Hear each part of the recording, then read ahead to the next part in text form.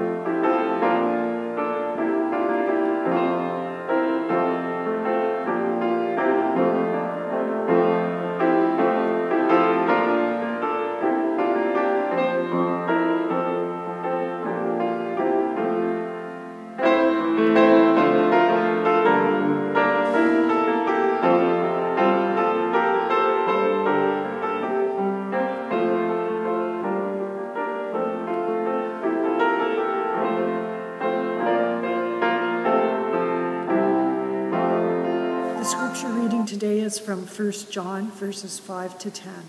God is light.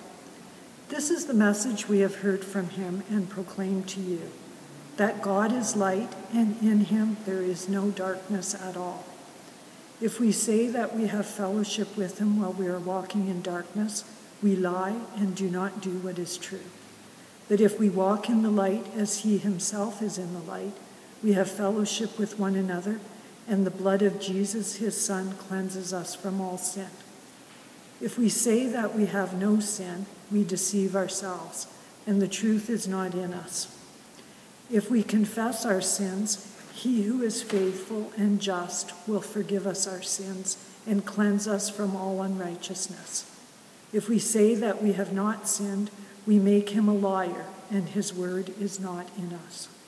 Thanks so much for that reading, Laurie. That was wonderful. Now, in a minute, Anthony's going to play our special music for today, and he's chosen a piece by Gershwin called A Foggy Day in London Town. There's a good reason for that, and I want to tell you what it is before we hear the music. The passage that Laurie read us today is from 1 John in the New Testament. Now, 1 John is different than the Gospel of John, which you find much earlier in the book. 1 John is a series of three tiny little letters that are a little bit confusing. First of all, we don't know who wrote them, which always makes me think if we don't know who wrote them, then why couldn't you call it First George or First Howard or First Edward with the large bulbous red nose? It's always very confusing to have John and then First John. But First John is also a little confusing because it was written not for the usual audience that Jesus was speaking to, which were the Jews, but for Gentiles and people who are already converted, if we want to say that, to Christianity. It gets confusing because it loops around in the book. It sounds like Hebrew poetry, which just keeps going in a circle over and over and over again. It can all leave you feeling a little, well, foggy. But that's what we're going to talk about today that foggy feeling created by this book, and what I am calling how did I get here again? Thanks, Anthony, for playing.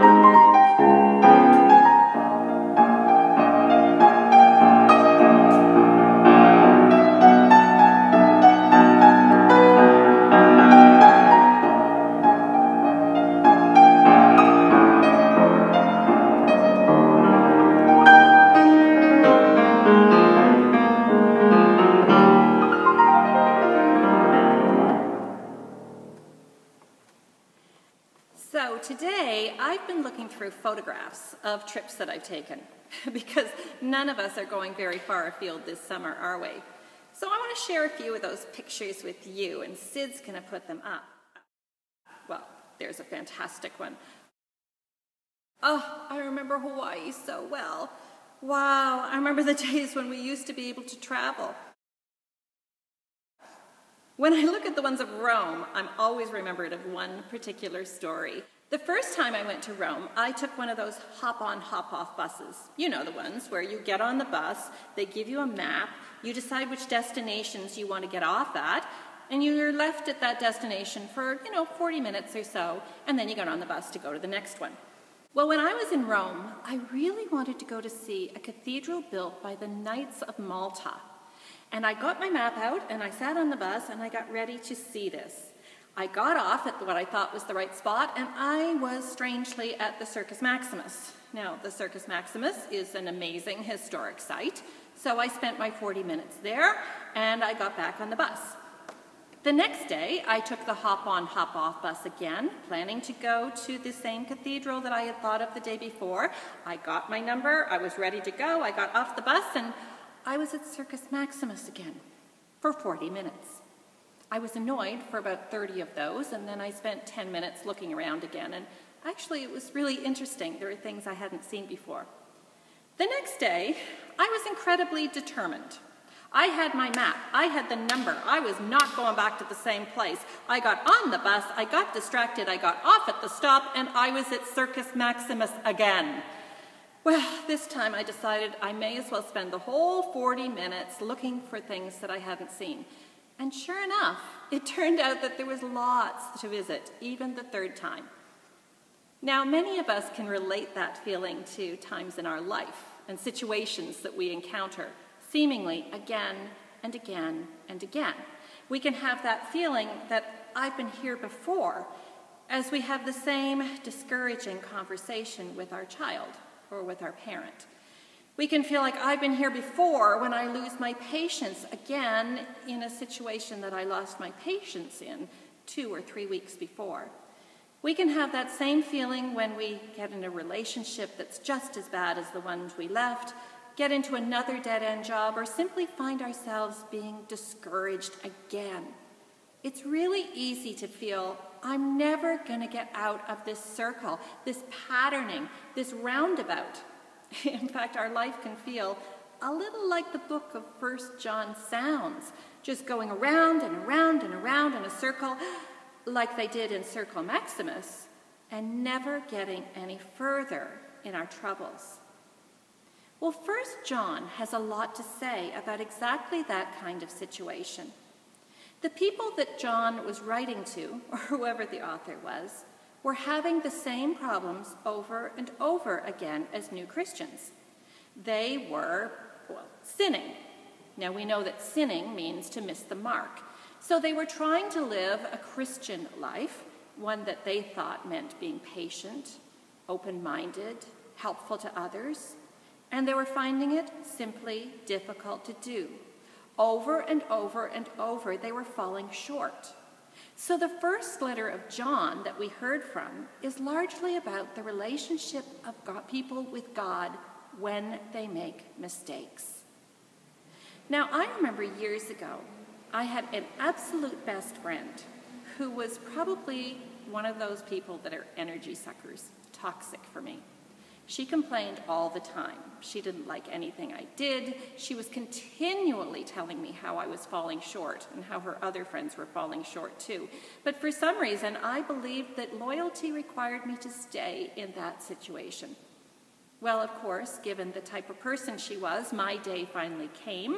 She finally decided that I was dead to her, and that was the end of that friendship. But strangely enough, about six months later, having spent those months going, oh, I'm so glad to be out of that, I partnered in friendship with somebody who was almost exactly the same. I repeated the same behavior. I did the same unhelpful thing. And I found myself thinking, just like I did in Rome, how did I get here again? So I was like the people that John was writing to. What the scriptures tell us always is that if we come to the same place again, we are ready to look at it in a new way. And that's so important, isn't it? Instead of saying, How did I get here again? we have an opportunity as people who are awakened in spirit. And that's what John refers to people who have had the opportunity to awaken to the presence of God and guide and spirit in their lives. We have an opportunity to stop and look at things a little differently. We have an opportunity when we say, How did I get here again? to say to ourselves, Okay, if I'm here again, then this is a problem that I'm really meant to pay attention to in my life. In fact, there's been a suggestion made by many mystics that the same problem comes up to us again and again and again in our lives because at each moment we're given a new opportunity to deal with it differently. Okay, so what do we do when we realize that the same thing has come up again? Well, as I just said, we realize that this is obviously speaking to one of our core issues. This is a lesson that we are meant to see and to understand as something that's confronting us regularly in our lives, but also to know that we have spiritual tools given to us at every step of the way. So we can stop and say, what are the spiritual tools that I have learned since the last time this happened that might help me get further? what are spiritual tools? Well, of course, the biggest one is asking for help. The biggest spiritual tool we have is saying, God, I don't know how to make this different, but I am willing to learn. Another spiritual tool we have is not taking things personally. That's a big one, too. We can say to ourselves, this issue is about this person's issue, but it's bringing up something in me that I need to look at. So, in a way, maybe I can be grateful to them. That's a pretty big tool.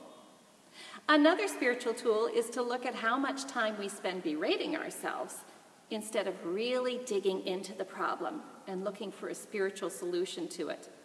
There are so many spiritual tools, in fact, and if we're not gathering them, if we find we're at the same place again and we're not ready to see something different, then it's time that we start picking up some books or talking to your pastor or actively asking God into the situation, into the problem, to help us move further.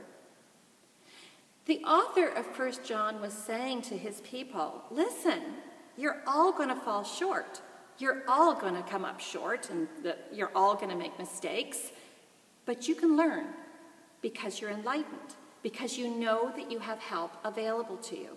And isn't that an amazing thing to know?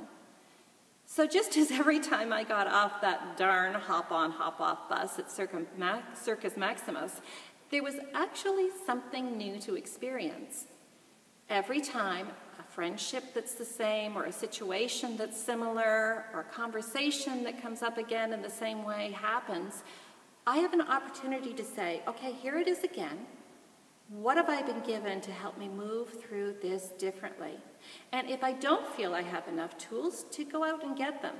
Because for sure, if this is my lesson, it's going to come up again. So, what I encourage everyone to do? Is to look at the th- times that you say, I've been here before, and realize that while we have, may have been here before, that doesn't mean that we're the same. It doesn't mean that we haven't learned something that might make this time a little different, a little easier. We have learned something that will help us live better with ourselves, with each other, and with our God. And that changes everything. Thanks be to God. So, thank you for being here today. Thank you to Laurie for the scripture reading, to Anthony for the music, to Sid for the video, and to all of you who are keeping Roncesvalles United Church so happy and healthy. We are grateful for your continued donations. We are continuing to deliver meals to the street. Not Just Tourists is sending their uh, medical supplies around the world, and our partnership group, Toronto Cares, is supporting families in need in Parkdale. So thank you to all of you. We're going to end today with a prayer. Let us pray together. Our God, when we are discouraged because we find ourselves in the same place again, remind us that you are always ready to help us move further. Give us the spiritual tools we need to move through those difficult situations differently the next time. Give us the courage and fortitude we need to be reminded that we all fall short and that we are simply here to learn. And it's okay to make a mistake and then make a mistake again. And remind us also that we are always companioned, we are never alone. Our God, we say prayers today for so many people who are in need. I say a prayer for Heather. Give her strength, keep her strong. I say a prayer today for my mother, Otha Sim. Keep her happy, keep her healthy. I say a prayer today for everyone else who has said that they're in need of a special blessing. We take a moment, we remember those whose names we hold in our hearts. And our God, we say a prayer for our own lives. Use them to your good and help us to get out of our continual circle of mistakes and move a little further towards the joy that you would have us live in. Amen. And now may the love of God and the grace of our Lord and our guide, Jesus Christ, the fellowship and communion of the Holy Spirit rest and abide upon us, everyone, now and forever. Amen. Amen. Let's sing Go Gently, Go Lightly.